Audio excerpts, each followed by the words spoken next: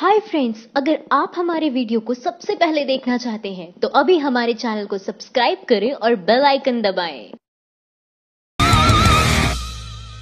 BJP का अंत करीब। आंध्र प्रदेश में अमित शाह की रैली में नहीं जुटी भीड़। सभा को करना पड़ा रद्द। 2014 में मोदी लहर के सहारे प्रचंड बहुमत के साथ सत्ता पर काबिज हुए। बीजेपी का 2019 में ये हाल हो गया है कि उसे अपनी रैली को भीड़ की कमी की वजह से रद्द करना पड़ रहा है। ताज़ा मामला आंध्र प्रदेश के श्रीकाकुलम ज़िले से सामने आया है, जहाँ 4 फरवरी को बीजेपी के राष्ट्रीय अध्यक्ष अमित शाह को भीड़ की कमी के कारण अपनी जनसभा रद्द करनी पड़ी। दहन सिंडिया की खबर के मुताबिक श्रीकाकुलम से अमित शाह को अपनी बस यात्रा का शुभारंभ करना था।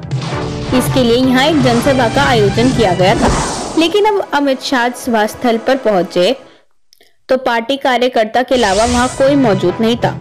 जिसके बाद भीड़ की कमी के चलते अमित शाह ने अपनी सभा को रद्द कर दिया। खबर में अमित शाह की जनसभा में भीड़ न जुटने का कारण भी बताया गया है। रिपोर्ट में कहा गया है कि काशीबग्गा बस स्टैंड के पास तनाव का माहौल था। यहाँ तेलुगु देशम पार्टी के समर्थक अमित शाह का विरोध करते हुए इकट्ठे हुए थे। टीडीपी समर्थकों का कहना है कि भाजपा की सरकार ने राज्य के साथ वादा खिलाफी की है। खबर के मुताबिक टीडीपी समर्थकों के विरोध और आम जनता की उदासीन प्रतिक्रिया की वजह से अमित शाह को एक छोटी सभा के लोगों को संबोधित कर निकलना पड़ा। इसके साथ ही यह भी कहा जा रहा है कि प्रदेश के अन्य हिस्सों में भी अमित शाह की सभा का कोई खास रिस्पॉन्स नहीं मिल रहा।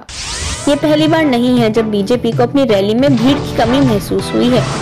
इससे पहले मध्य प्रदेश विधानसभा चुनाव के दौरान भी बीजेपी की कई रैलियों में भीड़ न जुटने के मामले सामने आए हैं।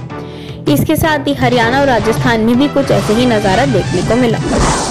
माइंड द न्यूज़ रूम की report thank you for watching our video अगर आपको हमारी वीडियो पसंद आई हो तो इसे लाइक ज़रूर करें और हमारे चैनल को सब्सक्राइब करना ना भूलें।